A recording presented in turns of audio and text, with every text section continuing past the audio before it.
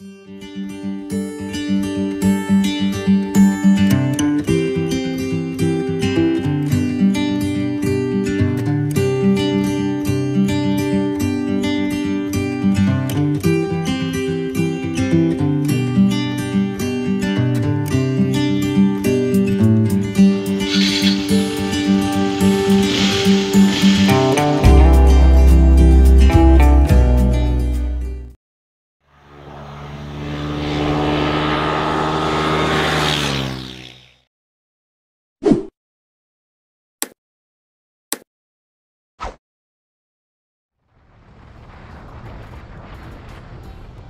Hello mga Taraki! Good morning! Madilim pa mga Taraki. It's about 4 a.m. Ngayong araw na to is the blessing of our new ride buddy. Kaya we are on our way to the Our Lady of the Most Holy Rosary of Manawag dito sa Manawag, Pangasinan mga Taraki. Ang Our Lady of Manawag ay kilala rin sa mga Ilocanos na si Apo Baket. Shoutout mga kailyan, na yung bigat yung amin na po. So ang ride natin today is about uh, 192 kilometers. Ang travel time natin is 2 and a half hours. So NLEX, SCTEX, and TIPLEX tayo mga tarati. Ayan, kung nakikita nyo, napakadilim ang paligid. Maaga tayong nag-take off. Para nang sa ganun, maaga tayong makarating sa Pangasinan mga taraki. Okay mga taraki, so papasok na tayo dito sa may SC Tex. Ang SC Tex ay Subic Clark Tarlac Expressway.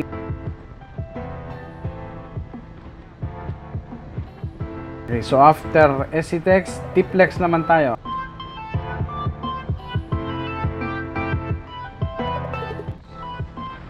Ayan. And then mag-exit tayo syempre dito sa may Binalunan, Pangasinan dahil ah, kung magsisimba ka sa Manawag mga Taraki, yan ang magiging exit points.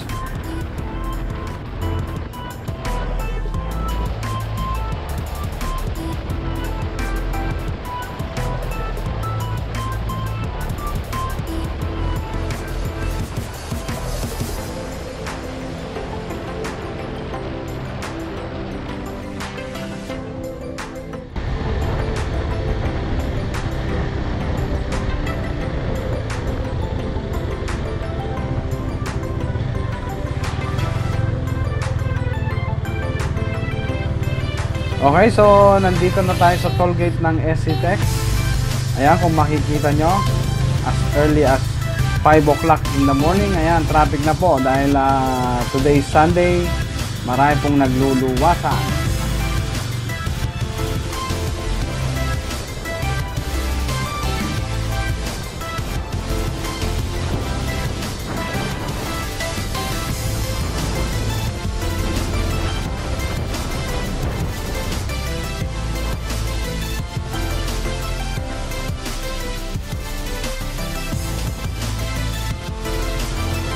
Okay mga Taraki, so approaching na tayo dito sa may toll gate ng Tiplex.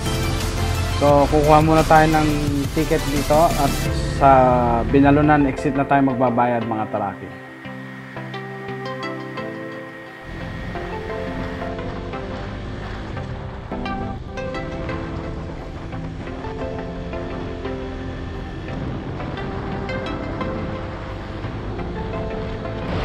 Okay mga Taraki, so nagbubukang liwayway na. Ayan, palabas na si Aring Araw.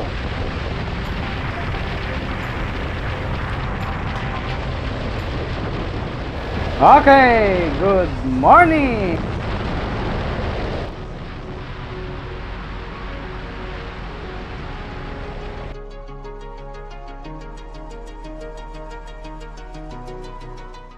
Nandito na tayo ngayon sa may Binalunan exit dito sa Pangasinan mga Taraki.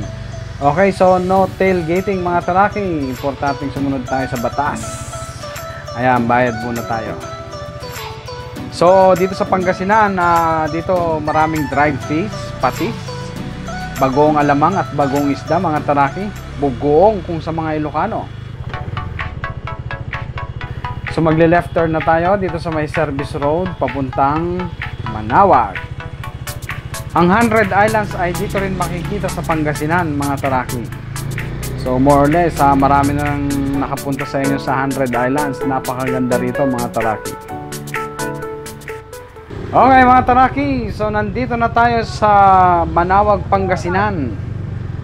Ayan, kung makikita nyo sa kalsada, dati, both sides, nagtitinda ng mga religious items, mga kakanin, lalong-lalo na yung kilalang tubig, mga taraki. But because of the ah, clearing operations ng DILG, tinanggal po sila.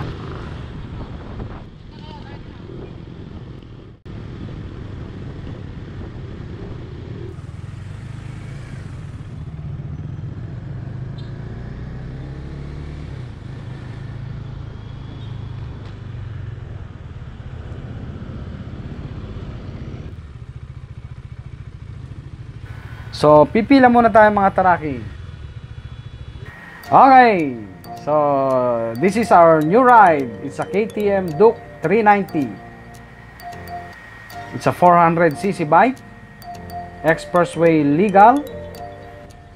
So, wait lang natin si Father for the blessing.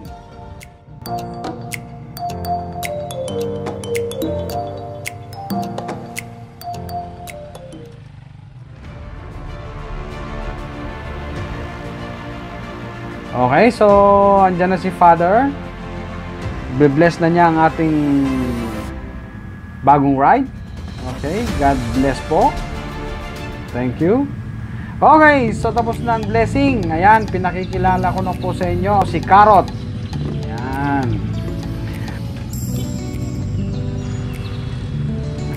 Okay, so magbe-breakfast muna tayo dito sa Baguio, mga taraki. So, ang Manawag to Baguio, it's about 62 kilometers.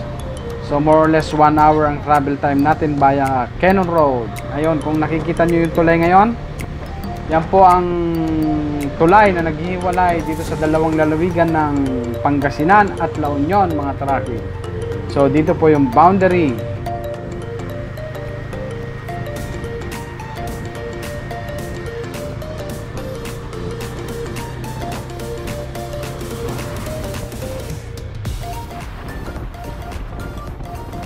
Okay, so stop over muna tayo.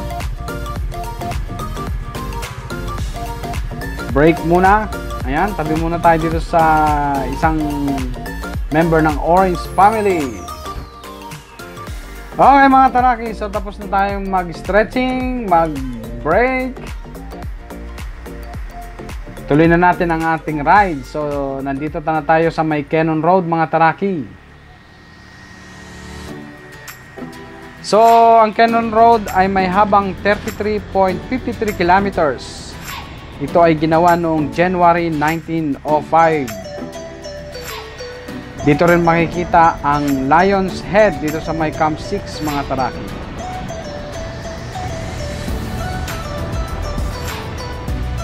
Ayan, ang ganda ng tanawin mga taraki. Ganyan kaganda dito sa may Cannon Road. So kung nakikita nyo yan, yan yung mga landslide. Yan po yung mga landslide na naging dahilan sa pagsara ng Cannon Road ng mahigit isang taon mga taraki. So nandito na tayo sa may toll gate ng Cannon Road. Ops, mga LTO. Okay, shout out LTO. Wala naman tayo magiging violation dahil naka-complete gear.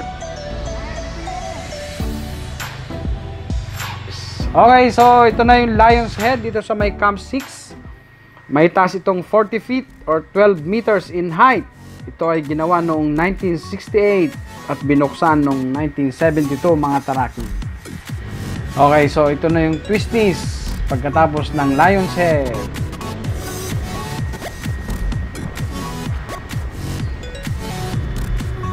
Okay, so nandito na tayo sa Baguio City. Baguio City is the summer capital of the Philippines. So, nandito na tayo sa loob ng Camp Janhay. Ang Camp Janhay ay isang tourist destination mga taraki. Ito rin ay isang forest watershed.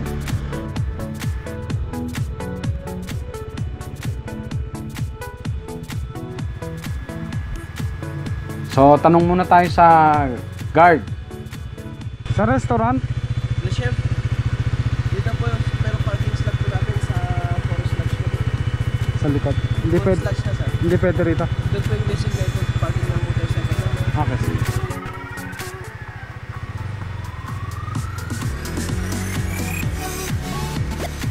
Okay, so punta tayo sa may parking lot ng The Manor Hotel. So, ang Camp John Hay, mga taraki, ay dating US military base. So, meron dito mga adventure trail. Pwede ka dito mag-picnic. And of course, maraming restaurant, hotels. So, pag pumasyal kayo rito, pwedeng pwede anytime. At enjoy natin ang lamig ng Baguio City, mga taraki.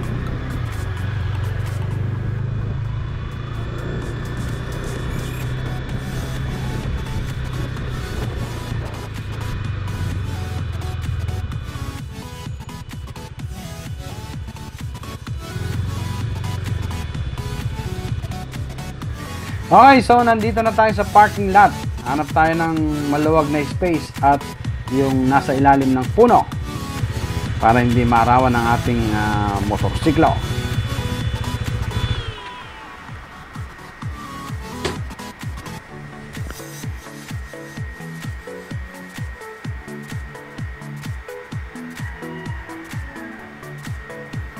Okay, so nandito na tayo sa breakfast buffet. Ayan. So, kung kayo magbe-breakfast buffet dito mga taraki, it's about uh, less than 800 ang per head. Pero, ayan no, mag enjoy kayo sa mga napakaraming uh, putahin nila. Ayan, longganisa Baguio. So, mag enjoy kayo dito mga taraki. Mabubusog kayo. Ayan. Napakaraming uh, variety of foods.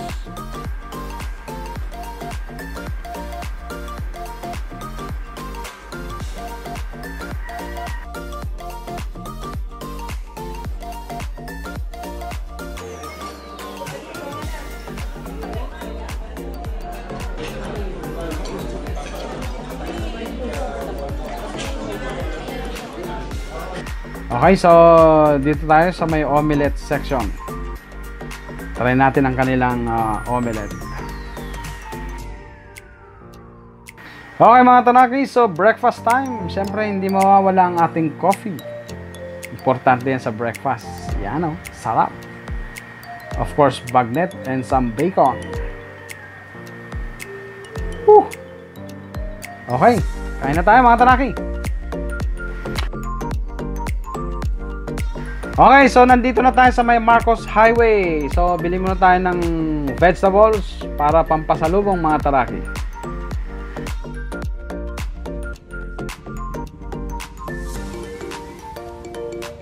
Kanina umakyat tayo ay dito sa Cannon Road. It's a one-way paakyat. So, pagbaba dito tayo sa may Marcos Highway mga taraki. Double solid yellow lane. No overtaking on both sides. Dahil kung matatandaan nyo, mayroong nangyari dito ng aksidente na yung adventure nag-overtake and then bumangga yung isang motorsiklo.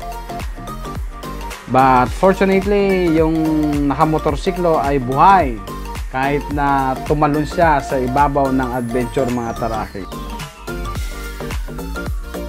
Okay, so nandito na tayo sa may North Luzon Expressway. So sana nag-enjoy kayo sa ating ride for today. Nabigyan ko kayo ng mga ideas at impormasyon tungkol sa ating ride. Paano magpunta dito sa Our Lady of Manawag at saka dito sa Baguio mga taraki.